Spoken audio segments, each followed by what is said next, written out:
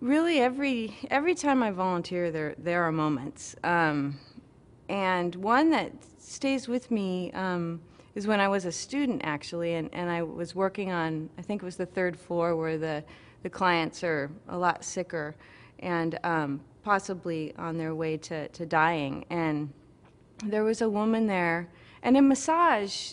There are always very personal moments. The whole thing is always very personal. But I remember the woman was barely conscious and barely aware, and my task as a student was to to go in and ask her what type of massage she would like, and and she just laid there and just said, "Do you know? Do do whatever you think." And so I just went in and I was massaging her hands, massaging her legs, and she was barely barely awake, barely conscious. And I just remember she just looked up at me, and it's just a feeling, really. She just looked up and she just said, Thank you. And then I looked over and I saw on her um, dresser were cards from her little daughters. She has she had two little daughters that, you know, said, Mommy, we care about you, we love you, you know, we want you to get better. And it was just a place I'll hold in my heart, you know, that it just showed that this woman who maybe on her way dying could still experience a loving and wonderful exchange before she before she went. When I started to approach my first door, it was it was it was it was actually terrifying for me because before I can knock on that door, I really realize I'm walking into this person's home. This just is not a room. This is their home. And I have no idea who's going to be on the other side of that door. And I was really, really, really kind of frozen. And I couldn't knock on that door because I was really afraid. It's like, what am I going to see? What am I going to smell? Is there going to be all these tubes? And will that person be dying? What are they going to look like? And so then I remember I walked back, and there's a meditation room in Bailey. And I went there and I sat. And I really thought about it. It's like, okay, how are you going to make peace with this? How are you going to be able to do this?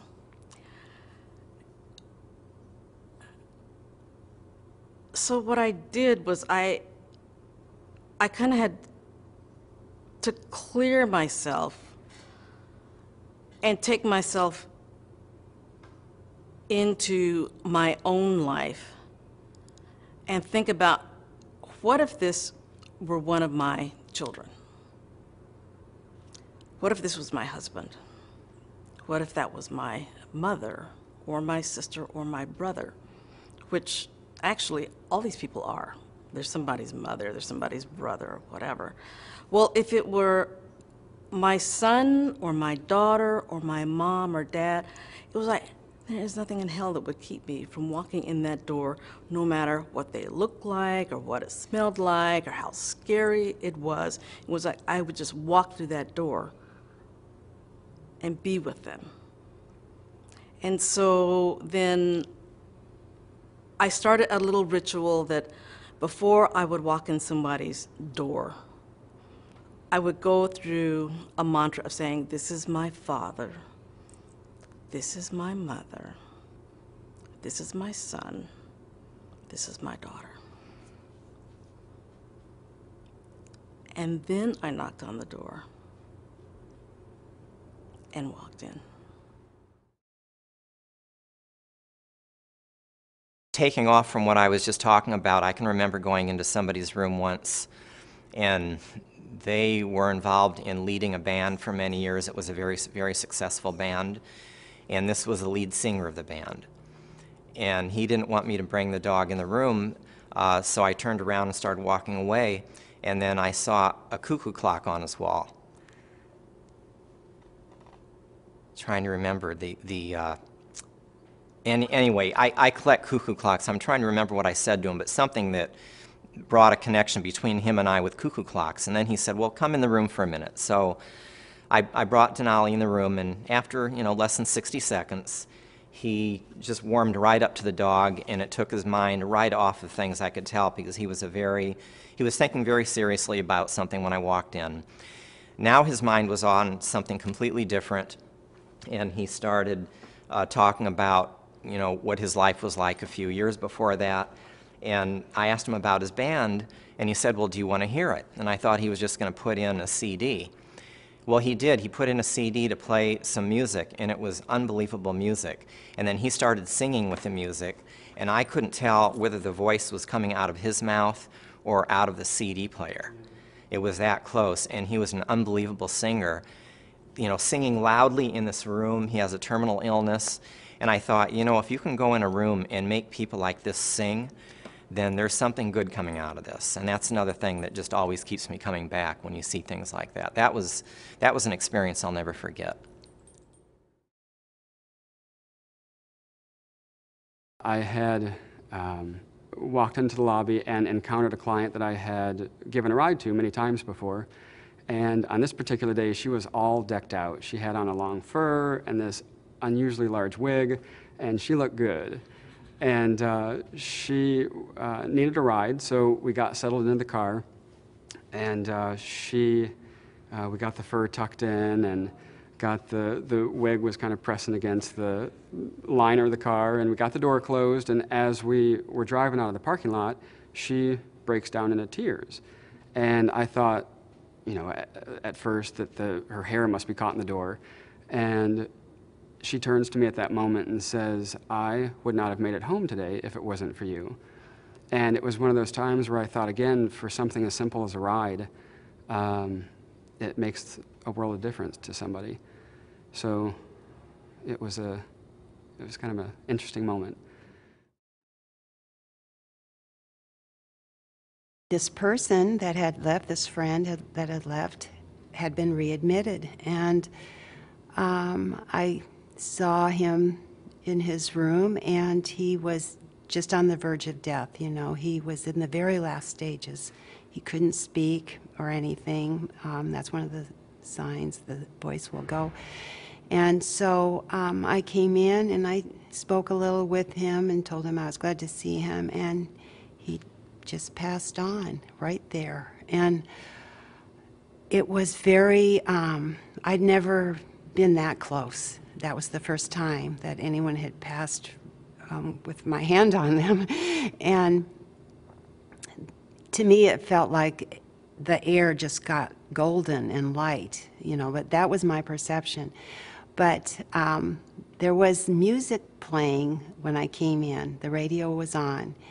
And as soon as he died, two songs that he used to play over and over again to me when he was ill the first time when I first met him, all of a sudden came on the radio. And that was just so weird. but um, it was just kind of a, you know, confirmation for me, you know, there, there's more to this than um, me just dying. And anyways, that, I mean, um, was just, an, I just, and I just was filled with, you know, I felt like I was full of grace at that point. So that's my story.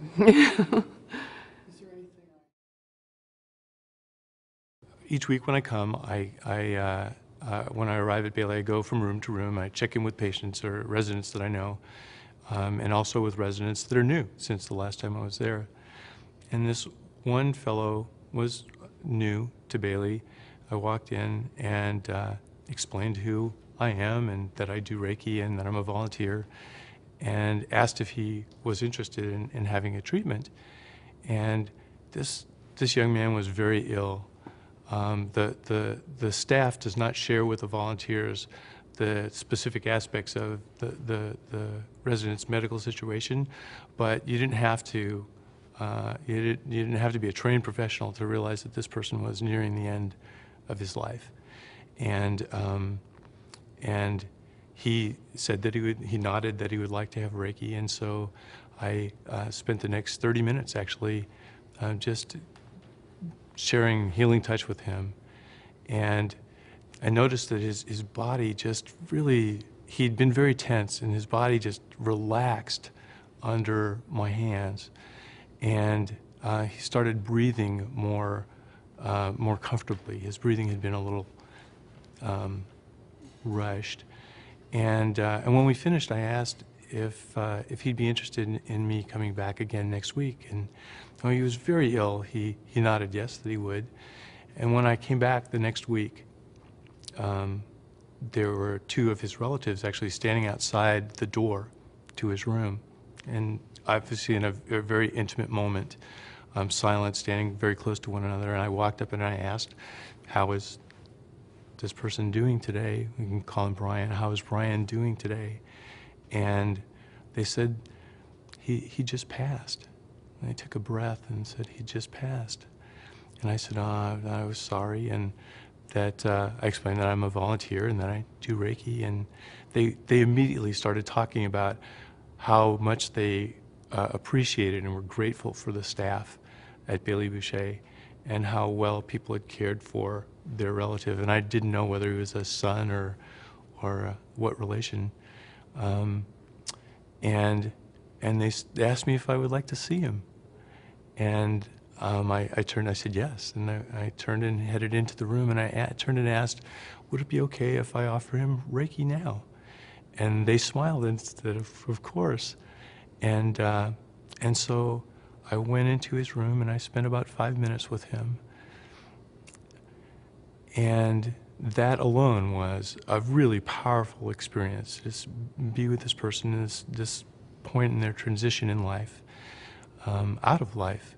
But then when I walked back out of the room, the look on, the look of kind um, gratitude from this young man's family members were just priceless. And, um, and I, I see their faces all the time. I see that young man's face. I see their faces. The, the, the appreciation for the work that we all do together is priceless, very rewarding.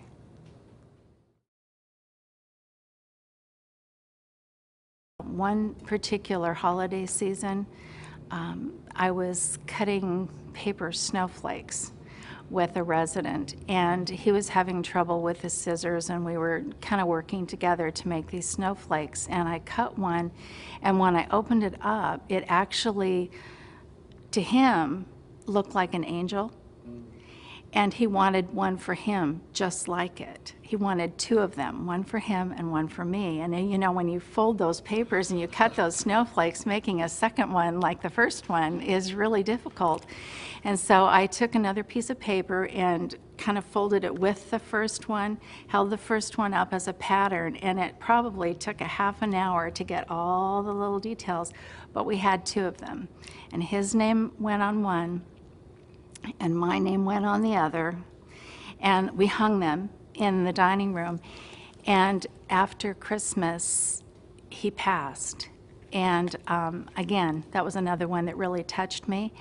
And he had saved those angel snowflakes and had asked one of the nurses, should something happen to him, would she please give me our snowflakes? And I still have them.